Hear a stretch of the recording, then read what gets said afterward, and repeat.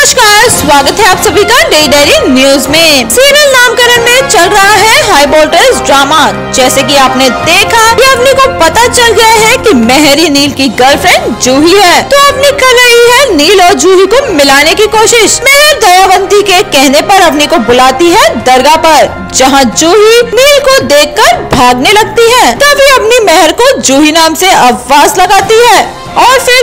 जूही एक दूसरे को देख लेते हैं। नील परेशान हो जाता है ये देखकर कि जिसको वो इतने सालों से मरा सोच रहा था, पर उसकी जूही ज़िंदा है। लेकिन जूही वहाँ से भाग जाती है और कोई उसे नहीं पकड़ पाता। अब ये देखना काफ़ी इंटरेस्टिंग होगा कि कैसे नील पता लगाता है अपनी जूही के बारे में।